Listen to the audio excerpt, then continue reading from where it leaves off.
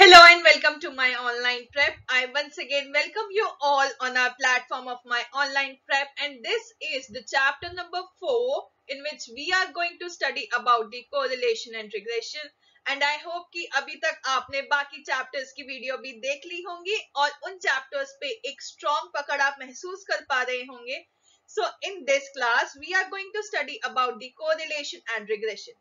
जैसे कि हम सब जानते हैं कि कोरिलेशन में दो इंपॉर्टेंट वेरिएबल्स होते हैं that is X and Y जिसमें एक इंडिपेंडेंट और एक डिपेंडेंट वेरिएबल होता है।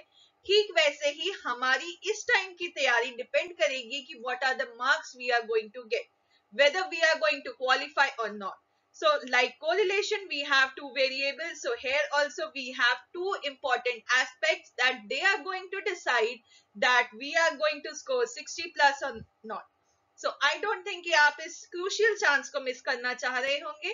सो so, बाकी वीडियोस की तरह आगे भी आपके लिए वीडियोस आती रहेंगी। हर एक इंपॉर्टेंट चैप्टर के इंपॉर्टेंट एमसीक्यूज और रिवीजन वीडियोस के साथ। So do not forget to click on the subscribe button and bell icon पे भी आप अपना बटन दबा दीजिए। सो दैट आप टाइमली सारी ही वीडियोस को कवर कर पाए। और इस चैप्टर के अंदर we are going to cover the topics that is objectives introduction scatter diagram along with correlation, regression and standard errors of the estimate. So come on, let's get started to some of the very important questions that are going to boost your chapters for the preparation strategy. So let's get started for the same. So first question is, if a correlation coefficient is 0.85, which of the following would be the true? The first, the variables are negatively correlated. The second, the variables have a perfect positive correlation. The third, the variables are positively correlated. And the fourth, the variables have no correlation. Amongst the various options, we can say that option C would be the correct answer. Now, why option C would be correct? Because correlation 0.85 indicate करता है कि एक strong positive correlation है. क्योंकि correlation की जो values है, वो वेरी करती है प्लस वन से माइनस वन के बीच में। कभी भी कोरिलेशन की कोई भी वैल्यू वन से एक्सीड नहीं कर सकती whether it's plus of one और it's minus of one so 0.85 क्योंकि प्लस वन के क्लोज है so we could say that there exist a positive correlation कि दो वेरिएबल्स के बीच में काफ़ी पॉजिटिव कोरिलेशन है। For example the marks a student got and the hard work he do. The more hard work he do, the more better marks he is going to score. So same is the correlation. So for this question, answer would be C option is correct.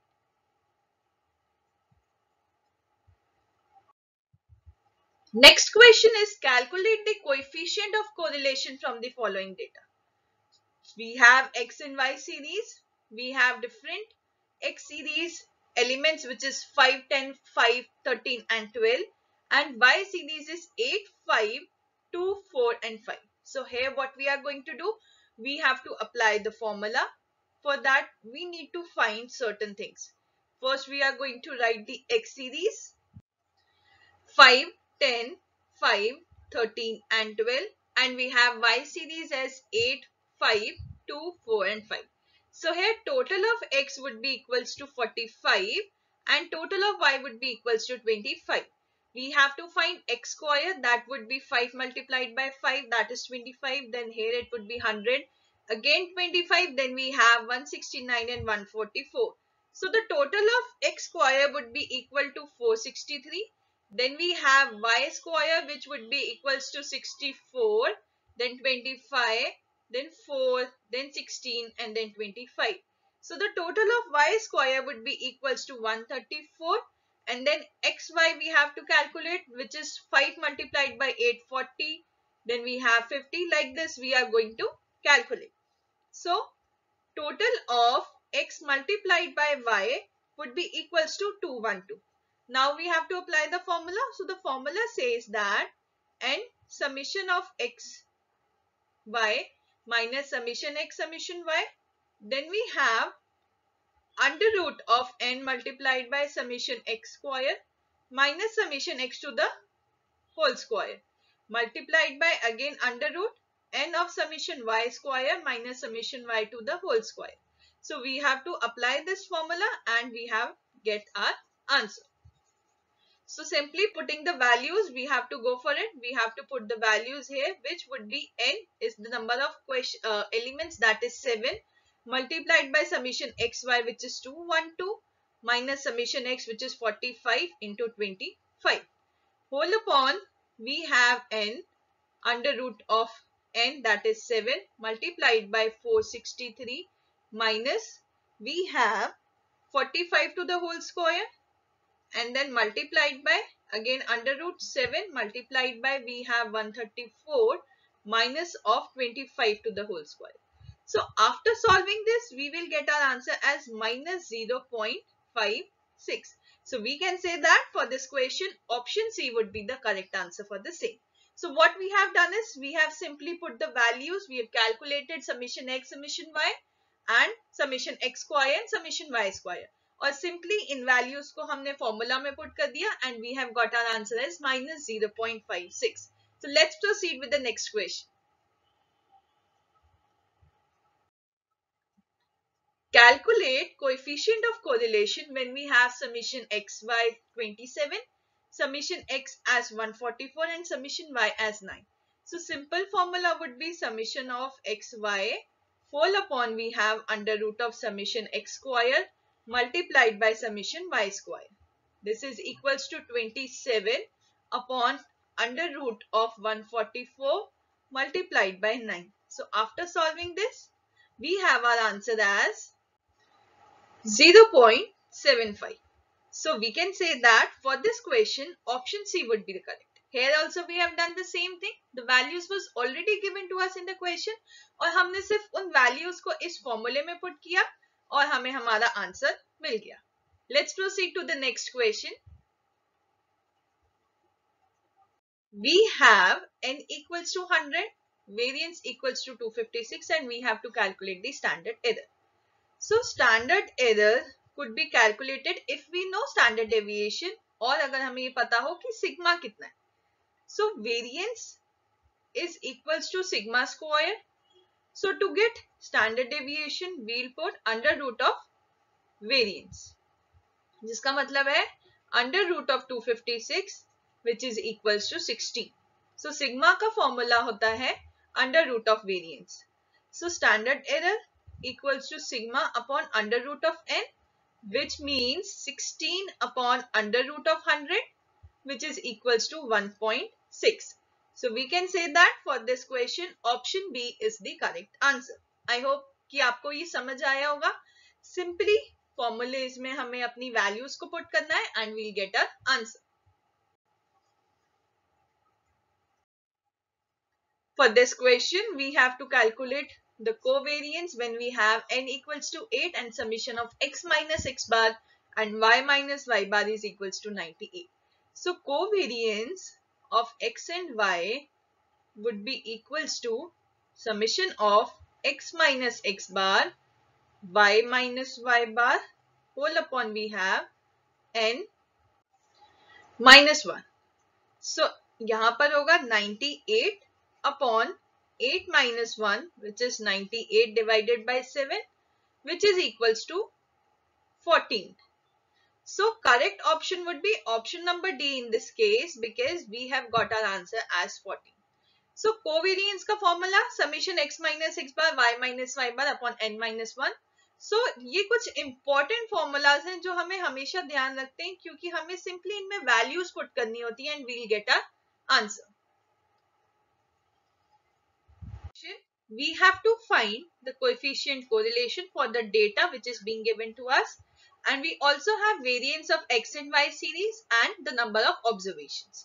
So first of all, we are going to calculate the covariance which would be equals to 740 divided by 20 equals to 37. And then we have to go for the sigma or the standard deviation of x series which is under root of 204 and the sigma or the standard deviation of y series which is under root of 506 in order to get R, we have to do it as 37 divided by 204 multiplied by under root of 506. So after solving this, we get our answer as 0.115. So we can say that for this question, option A is the correct answer for the same. So we have our My Online Prep application which is totally designed and has the revised concepts as per the revised syllabus of CAIIB 2023 where you have very lot numbers of mock tests and also free videos that you can use. And also with the help of these values you could score a better marks that is 60 plus. And also you can comment down on any of the feedback or query regarding any particular question or a journal in the comment box and also do subscribe to our channel because you cannot afford to miss out these special videos which is going to give a boost to your preparation strategies and also can help you to qualify exam in this attempt only. What is the relationship that exists this data exhibits? So what we have to do here is we have to draw a particular graph. In this graph, we are going to have some particular temperatures on the x-axis that would be from 10, 12, 14, 16, 18, 20 and we can also have it ahead like it would be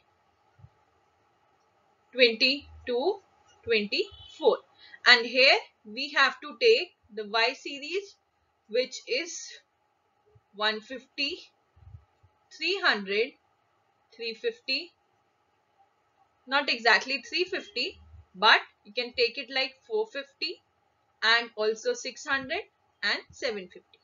So when the temperature was 11.9 we have the temperature as 185 somewhat near here.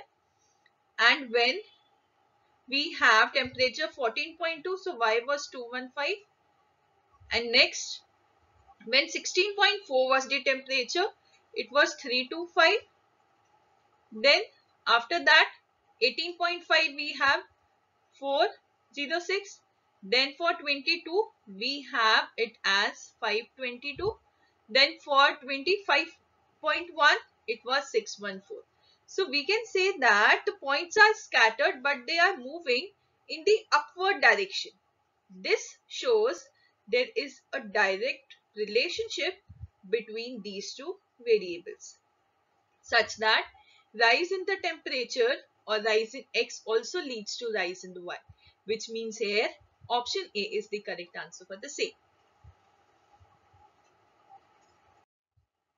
Next question is in the simple linear regression equation where y equals to mx plus b this is the equation of regression where what does m represents here so whether it's a dependent variable or an independent variable or we could say that it is a slope or it is a y-intercept of the regression line.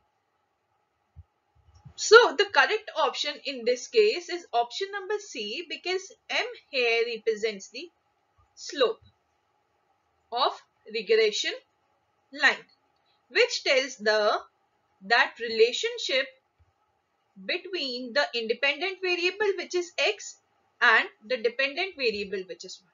So in this equation of y equals to mxb, x and y are the dependent and independent variable where m represents our slope of the same. So in this case, option C is the correct answer. Given us the valuable data, we have to obtain the y equation.